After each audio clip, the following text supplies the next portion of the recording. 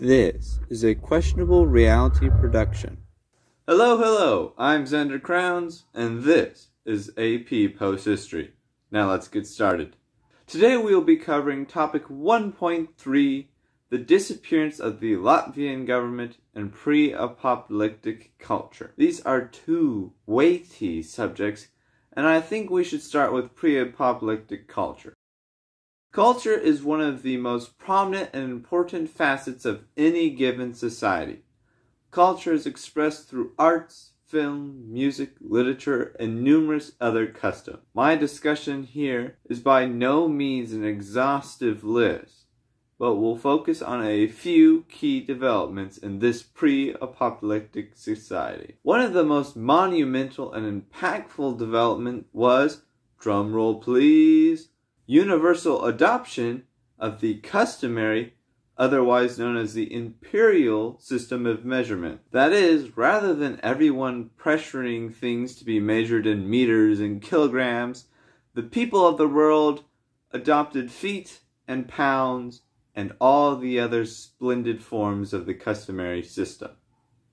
But how is this possible, you might wonder? All our modern trends indicate that the metric system is the better system of measurement, with a few stubborn stragglers refusing to adopt it. Well, the rationale is twofold. Again, since the United World decided to adopt the complete legal system of the United States, it seemed fitting to also adopt the system of measurement of the United States, in that even far into these post historical times, the US was successful in retaining its customary system. However, the more compelling argument was the inherent humanity of the customary system.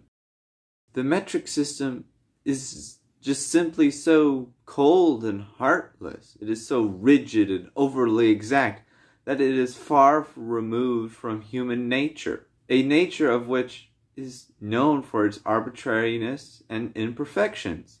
Thus, we needed a measurement system that properly reflected such. So, the arbitrary and Byzantine nature of the customary system found a new appeal in this era. Because why should everything be so exact and so perfectly line up?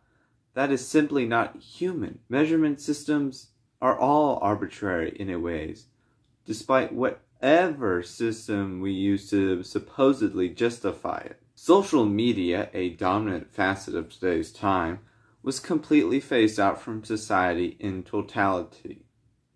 People realized that social media was no more than a mind drug, sedating them from the reality of the world, while subjecting them to complacent existence devoid of the necessary motivation of suffering and uncomfort. People stopped thinking farm animals were cute, goldfish were no longer held as household pets, moments before they took over the world.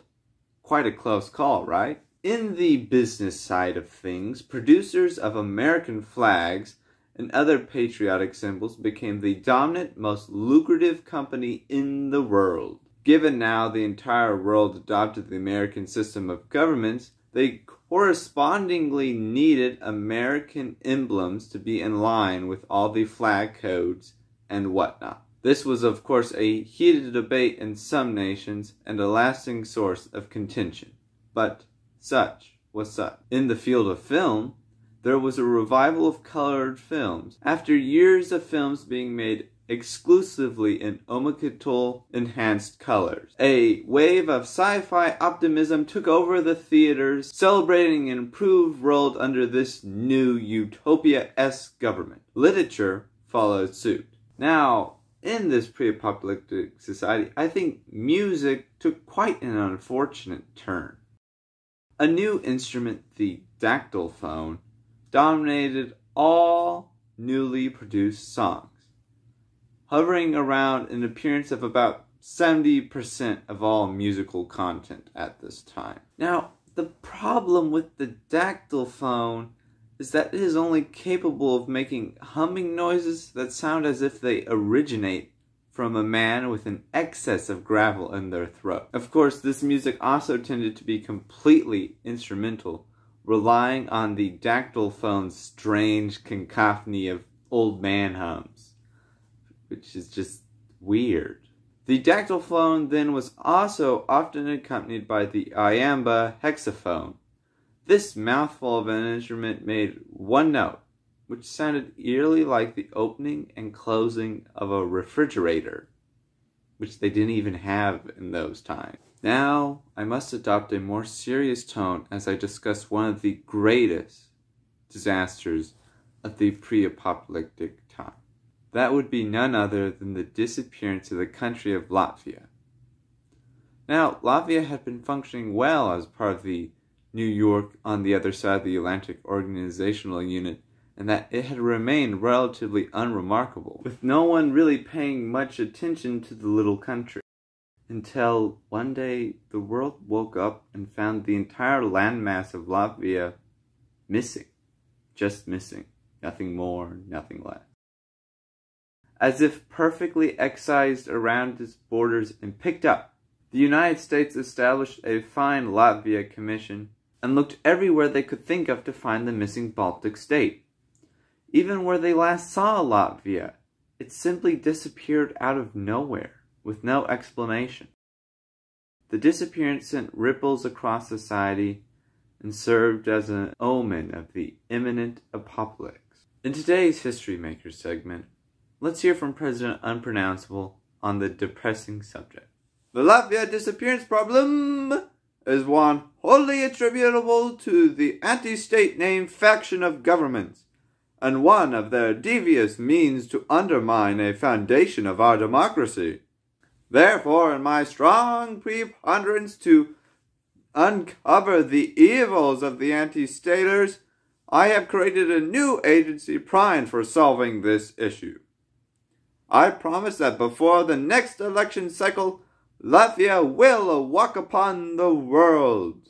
Of course, he didn't fall through with this, and the program never found Latvia or a single Latvian, even though a few did survive given they were on vacation or something like that. A long mourning culture developed to remember the strange and sudden disappearance of Latvia Along its former territorial borders, memorial markers were established. Unfortunately, the mystery that resulted in the disappearance of the Latvia was never discovered. Some researchers were close, but then the apocalypse happened. Quite inconvenient, I know. And that's it. Topic 3 of Unit 1 is complete. If you want to find success in your post-history class and find Latvia, consider subscribing and liking this video. My goal is to see that each and every one of you get a 92 in your class and a 7 on the AP exam in Quintober. Alright, Zander Crowns, checking out.